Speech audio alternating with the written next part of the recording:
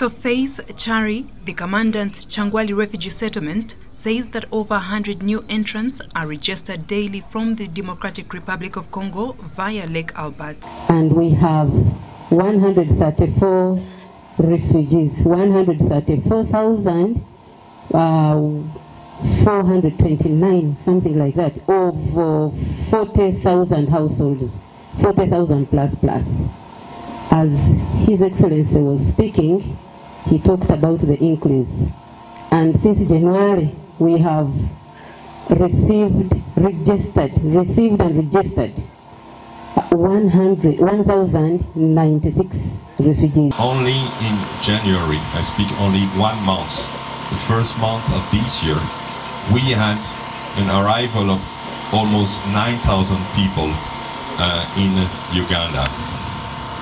And it is quite clear that the, these new crises can sometimes place a strain on the ongoing uh, ones, the ongoing crisis, in terms of rechanneling of funds. She says the settlement received 1,096 new refugees from DRC last month, coming as a result of war.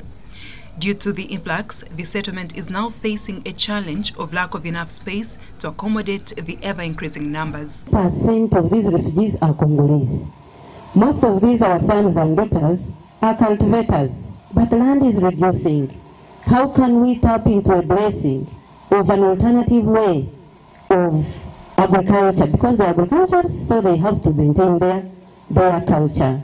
But we can look at getting them do the agriculture on smaller pieces of land, but also gain much. But as we realize, due to the insecurity in the region, uh, over time, uh, many people keep coming, uh, increasing the influx of the refugees keeps increasing.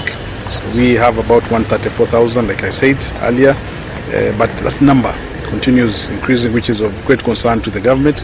The Belgium ambassador to Uganda, Chantry Huguet, has called on different partners from various countries to join hands in order to address the challenge of the influx of refugees. One of them is precisely that we keep uh, bringing the attention, especially to the underfunded and forgotten crises, and unfortunately there are many of them.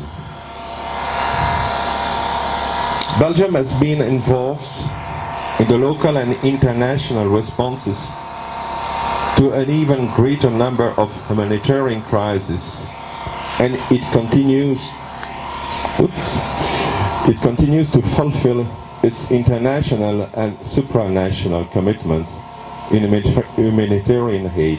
Peter Bisobora the deputy RDC Kikuube has promised to work with management of the settlement to ensure that some of the problems that are ongoing are settled. Policy is that we help each and everyone who has a problem. All our neighboring countries, with people with problems, we will welcome them. The issue of high numbers, as Kyangwali, we have not yet been alarmed because Kyangwali refugee camp still has a lot of land has still a lot of land. These are still available.